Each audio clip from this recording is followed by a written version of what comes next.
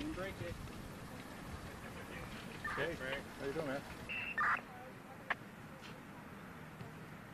The unit who has Catholic Charities apply on the crime. Me at Catholic Church, I have a large group of people that need to get all their contact.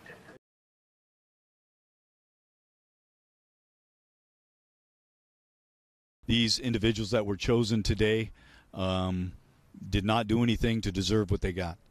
Uh, these were unprovoked attacks by an individual that um, was intent on carrying out homicides today.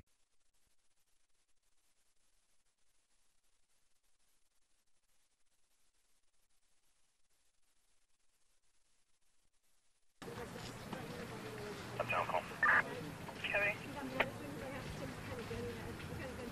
One French 141. One Tulare County engine. County engine. Zone E5. Union. Crescent 12. Land 090. You break it. Okay, how you doing, man? Good. Good.